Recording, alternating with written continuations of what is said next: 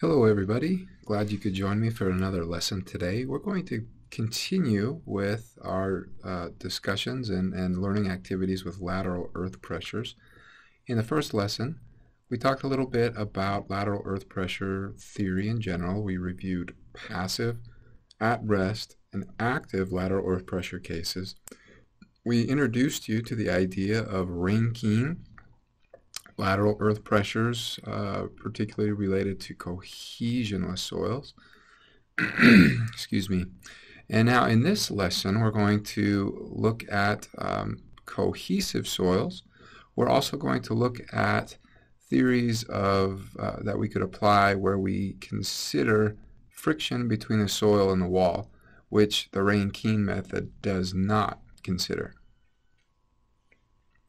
So uh, again, looking at the Rankine method, but this time for cohesive soils. So these would be soils like clays that have cohesion. If we have clay in the backfill, it presents some unique challenges. Um, we still are going to compute the lateral earth pressure like we did before. So uh, this H here, this is the height of our wall.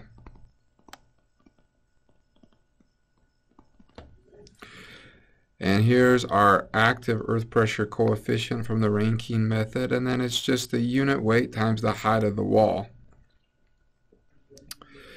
And so once we get that pressure, uh, that would be the like the same lateral earth pressure we'd expect from a cohesionless soil behind the wall. But the problem, or as I say that the unique challenge with cohesive soils is that we have cohesion and if we're adding the effect of cohesion into the mix, um, or if we're trying to account for it, then it, it essentially acts in a manner that tries to hold the soil up by itself. Cohesion does not want the soil to tip over. So as such, we are going to subtract the cohesion component from our lateral earth pressures. And the cohesion component we assume to be a uniform load on the wall equal to 2 times the cohesion times the square root of our active earth pressure coefficient. Now, if we do the math, what we end up seeing is that there is actually a zone up near the top of the wall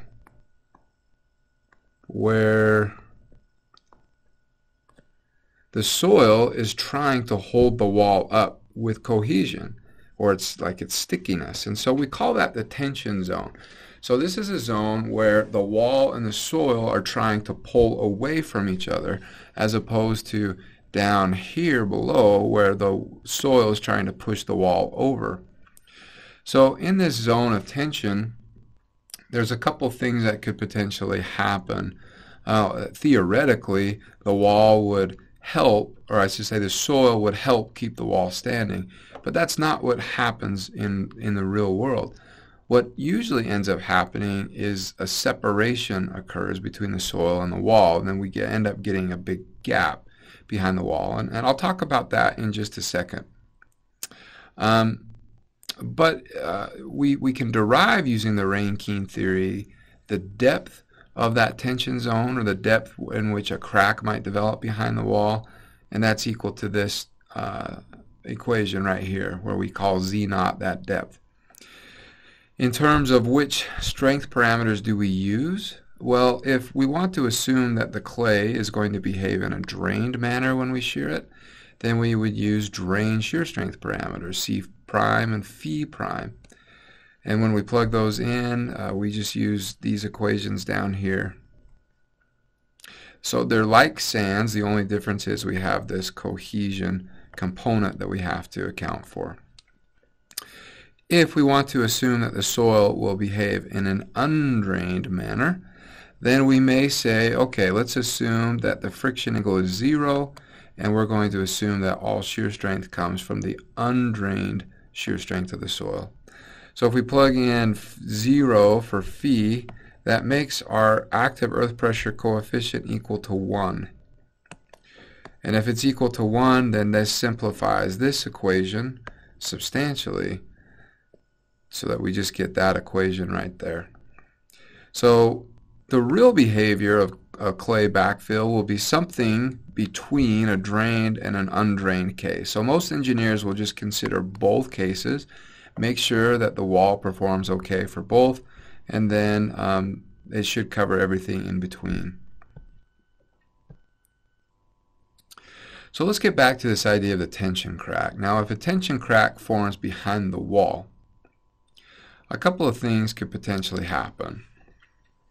Let's draw a little sketch here. So I don't like that color. Let's use black. And let's make my line a little thinner. So let's say this is the ground surface. And let's say that we have a retaining wall that's holding back this clay backfill. So a couple of things could happen here, okay?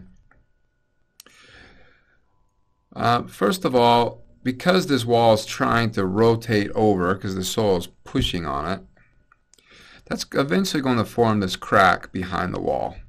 That's the tension crack that we're talking about. Now, a few things could potentially happen. Uh, first of all, if that crack were to ever fill up with, say, water, like this, well, then that could be bad because that means that not only do we have the lateral earth pressure down here to deal with, but we also have the hydrostatic pressure from the water that we have to deal with acting on our wall. And that could cause a lot of loading or movement on our wall. And, and, you know, you may say, well, it's just a little crack. How can a little bit of water cause that to happen? It really can, especially when grandma's up here you know, uh, watering her lawn all the time, and and those cracks can fill up with uh, water very very quickly. So I would say if if people are asking me why clay backfill is a is a bad idea, uh, the first thing I would say is uh, first of all the tension crack. can fill with water.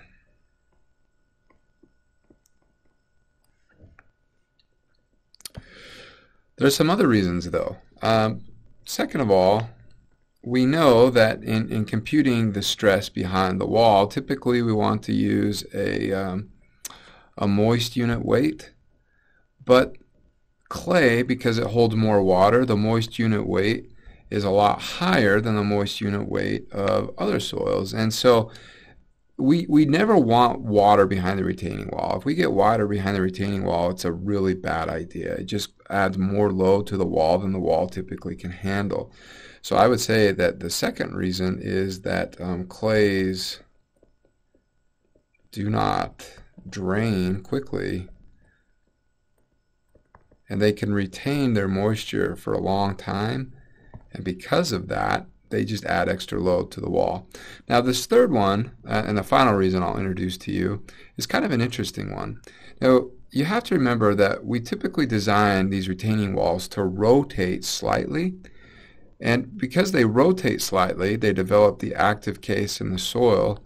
And that means then that all of this soil over here on the right that I'm highlighting and shading, all of this zone over here is held up by itself the soil holds itself up with its own shear strength, which means that the wall only needs to hold up this little wedge of soil. So it's kind of a, a clever, ingenious thing that engineers do to reduce the demand that's on the wall. Okay, so the wall rotates, the clay develops this failure plane, and the wall's happily holding up this little wedge of soil. But we learned uh, in an earlier lesson that clays are thixotropic. Thixotropic means that the clays heal themselves, and so the clays do not retain these shear planes for long. Um, and eventually, the clay will go back to trying to support, uh, or, or basically, the whole load of the clay is now pushing on the wall. So if that's the case, then the wall needs to rotate a little bit more, and then the failure plane develops. But then the failure plane heals again because the wall, the clay is thixotropic, which then causes the wall to rotate a little bit more, and then the plane develops. And so you have this back and forth, back and forth between active loading and then at rest loading and then back to active and then back to at rest and around and around we go. And the whole time what's happening to our wall is it's gradually tipping over. And so uh, I would say that clays cannot retain the active condition due to thixotropy. We won't talk more about thixotropy uh, in this class, but I mean there are entire books written on it, whole uh, researchers who devote all of their, their time and effort to it. So it's an interesting topic. Anyway, what we typically do as engineers is we are going to neglect this entire zone up here. We're just going to pretend it doesn't exist and we're only going to analyze this load down here um, pushing the, the soil over or the wall over and so we want to compute the equivalent force from that load and we can compute it using these equations over here on the right.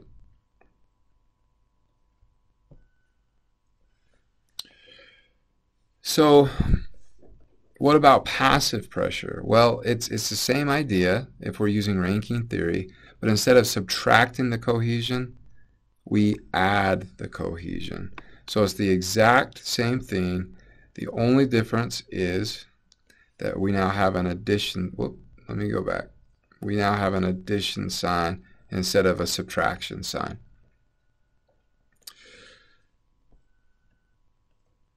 Okay. So you might ask yourself the question, how good is this Rankine theory? This Rankine lateral earth pressure theory assumes that there is no friction between the wall and the soil, and that the only friction occurs along the failure plane in the soil itself. We know that's not true. We know that there is definitely going to be friction between the wall and the soil, and that can impact not only the magnitude, but the, the orientation of that force vector. So how, um, how does that assumption affect uh, our designs? Well, a lot of researchers have looked at this question, and, and if, we, if we look at some free body diagrams of both the wall and the soil, we can see kind of what happens. So these researchers have shown that if we look at the active condition, we typically the real force acting on the soil and the wall was going to be oriented at some angle delta. And, and delta is the friction angle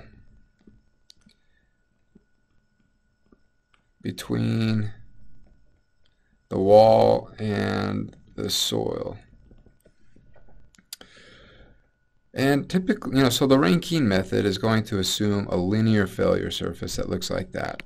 But what we have observed uh, through experimentation and observation is that the actual failure surface looks something like this. So there is a little curvy portion down here, but for the rest of the, the way, it, it is pretty linear, just like the Rankine theory would predict. And so, you know, the final conclusion is that for the active case, the assumption of no friction between the wall and the soil isn't really a bad assumption. It's, it's, we don't lose too much from that.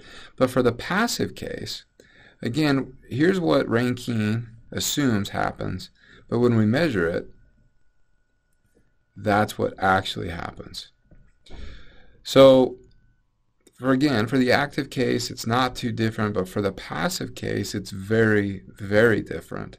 So, you know, the moral of this story and what we learn from research is that wall friction does not affect the active case very much, but it has a huge impact on the passive case. So we may want to consider this wall friction or the friction between the wall and the soil, uh, particularly for the passive case. And if we want to do that, there, there's two methods. There's what we call the Coulomb method, uh, which also assumes a linear failure plane, like the Rankine method. And there's another method called the log spiral method.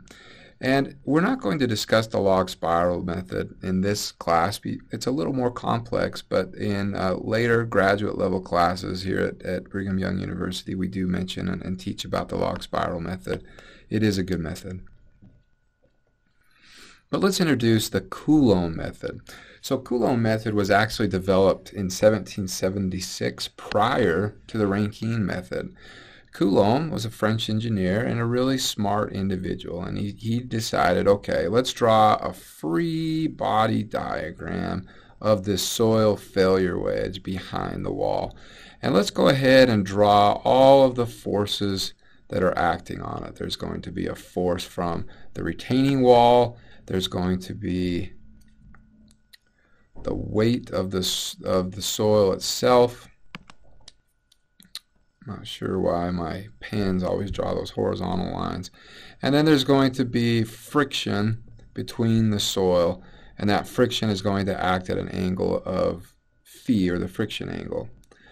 And so, um, according to statics, we know that if we take these three forces, everything has to equal zero. The sum of the forces have to equal zero, which means if we were to draw those forces in a polygon, the polygon would have to close.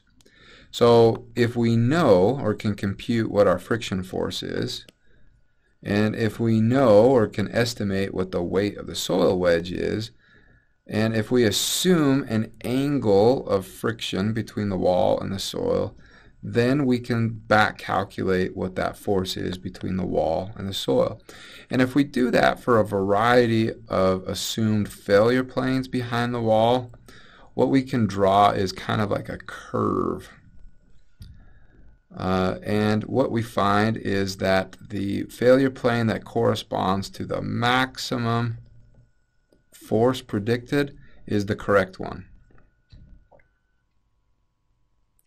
So um, engineers and mathematicians later said, hey, we can use calculus to just solve this solution correctly because all it is is a maximization or an optimization problem. So by taking the derivative of that function, we end up with this function right here, which is basically, uh, we're, because we're talking about the active condition, this is the um, active lateral earth pressure coefficient. All of these angles in this equation come from the geometry of the problem. So beta is the angle of our failure plane from the horizontal. Um, theta is the uh, angle of the retaining wall itself, and alpha is the angle of the back slope. So if we simplify it, we get the same equation that we're used to. And uh, again, here is a simplified form of that active earth pressure coefficient.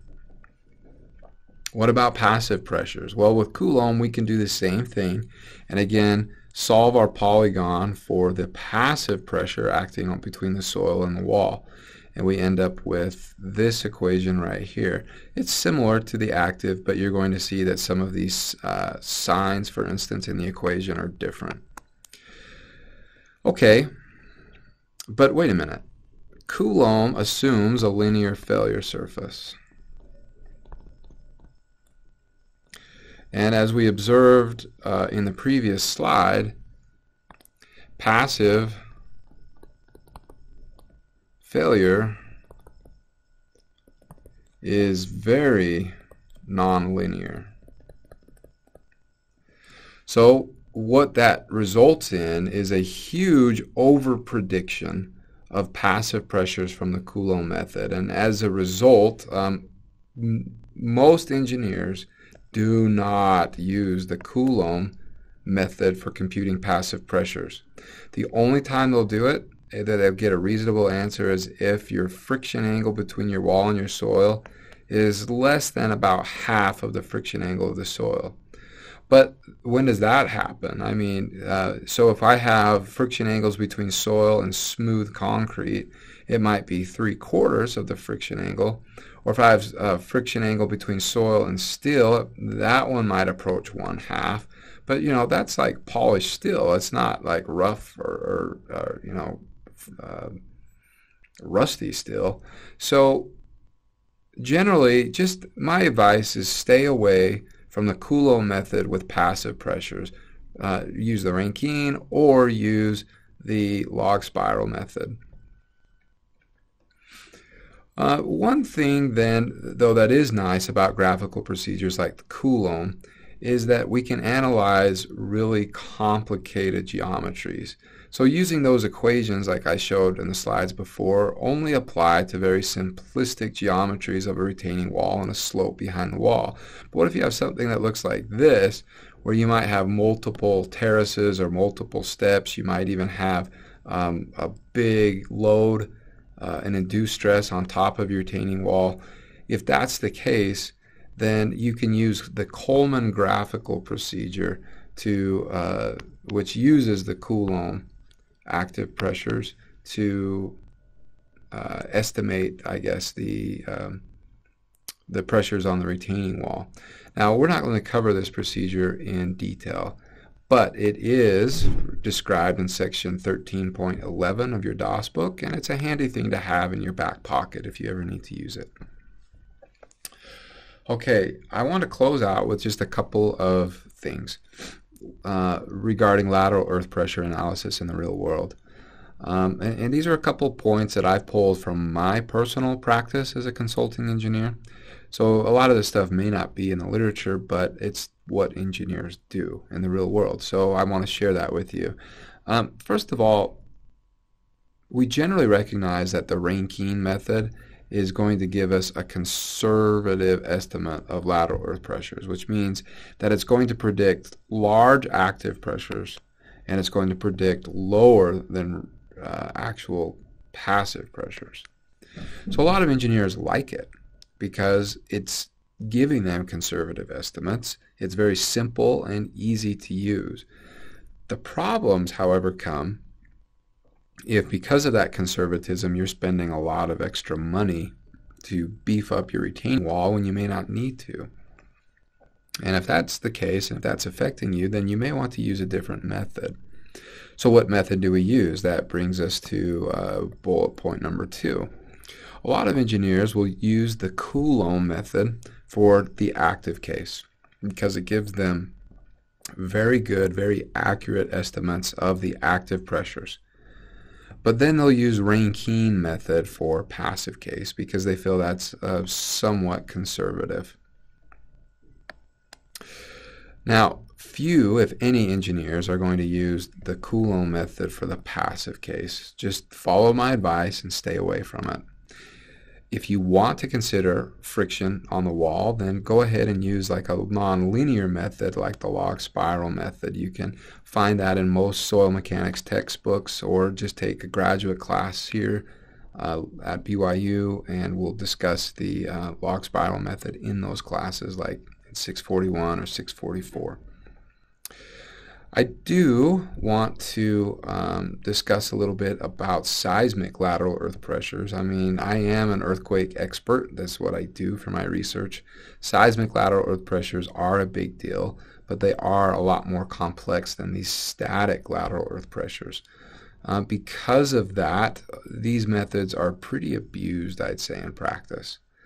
Um, and you'll see practices that range all like from crazy stuff that people do and so it's important that we learn how to do these seismic lateral earth pressures correctly, uh, especially given some new research, or relatively new research, probably within the last 10 years that has come out of uh, University of California at Berkeley from uh, Professor Nick Sitar. He's done some great stuff with he and his students.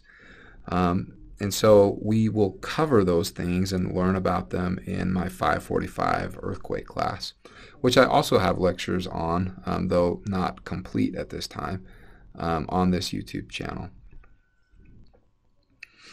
The last thing I want to keep in mind is that all of the walls and things that we draw in these um, examples, like this wall right here, for instance, they show like a big gravity wall, right? It's some big bulky thing that's uh, using its mass to try to prevent the soil from tipping over. The reality is very few people use those types of retaining walls today. In fact, what more engineers use is uh, what are called mechanically stabilized earth or MSE walls. And you see these walls all over the place in the United States, and, and it's because they're so functional, they're very reliable, and honestly, look at these panels that are holding up um, the facing of the wall here. They're probably no more than uh, 10 or 12 inches thick, and that's all the way up. So they're, they're relatively very, very thin.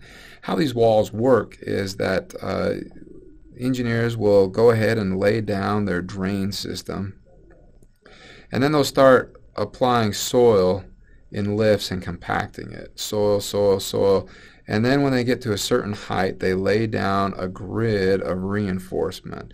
That reinforcement could be like steel grid like that.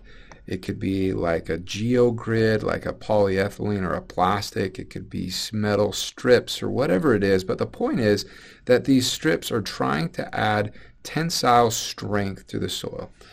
Then after that, uh, on top of that, they'll start compacting and, and laying down more soil, more soil, more soil, and then they'll put down another grid. And so they follow this pattern all the way up the wall, like you see in this picture right here. And those grids will actually provide tensile, or tensile strength to the soil. So then when you see a wall like this, these, these panels that you see on the wall are really doing very little work. All they're doing is, is keeping the soil from unraveling. What's holding that wall up and keeping it vertical are these, um, these reinforcement strips in the soil and the soil itself. So um, we'll discuss a little bit more how to design these systems in our 644 class. So uh, that's all I have for this lesson. I appreciate your attention. And the next lesson, we're going to introduce you to the topic of bearing capacity. Can't wait to see you then. Thank you and have a great day.